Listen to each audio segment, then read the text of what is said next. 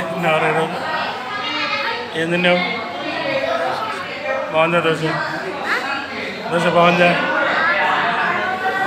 ഏ ഹോട്ടലിൻ്റെ അത് ചന്ദമാമ ഹോട്ടലിലാണ്